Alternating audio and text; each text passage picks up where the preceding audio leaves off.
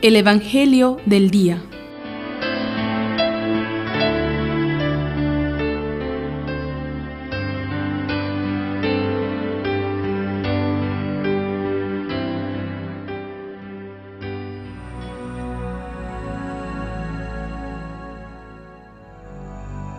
Y cuando iba a cumplirse el tiempo de su partida, Jesús decidió firmemente marchar hacia Jerusalén y envió por delante a unos mensajeros que entraron en una aldea de samaritanos para prepararle hospedaje. Pero no le acogieron porque llevaba la intención de ir a Jerusalén.